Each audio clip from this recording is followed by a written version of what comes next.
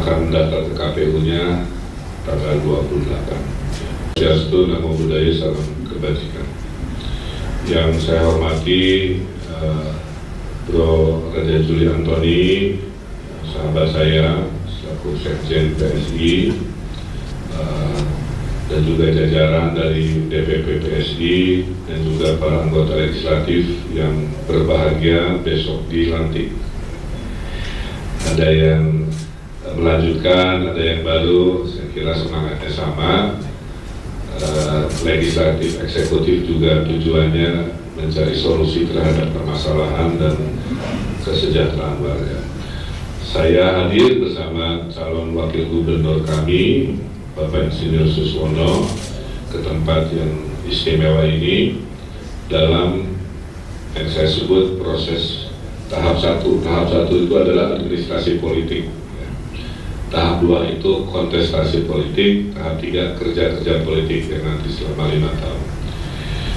Kami senang karena PSI eh, sebelumnya juga sudah menyampaikan di uh, kota Kasablanka ya secara simbolis sekarang bersama Pak Suswono hadir di sini dan kami juga sudah menyimak sepak terjang dan uh, apa mindset Eh, semangat dari anggota DPRD dari PSI selama ini. Sehingga harapannya dengan kita berkoalisi, hal-hal yang kurang di masa lalu kita sempurnakan, sehingga kita fokus uh, melakukan lompatan-lompatan.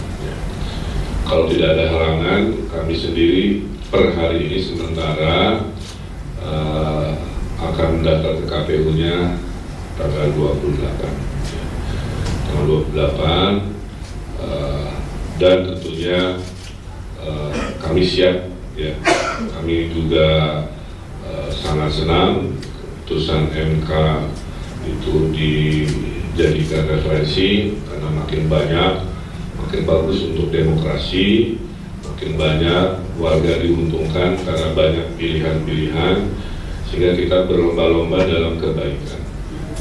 Dan kami berharap pesta demokrasi khususnya Jakarta adalah ajang gagasan bukan ajang caci maki bully-bully.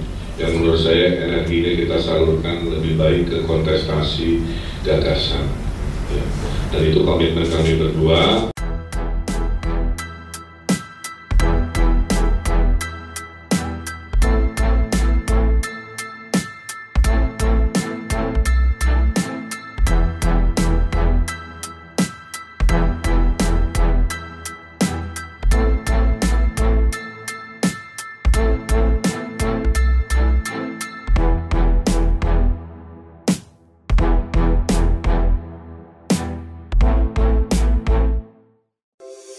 antara banyak sumber informasi, kami layak dipercaya.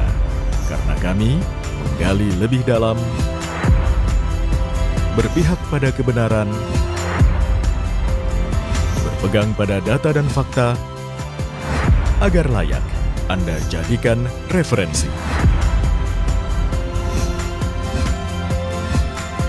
Kompas TV, independen, terpercaya.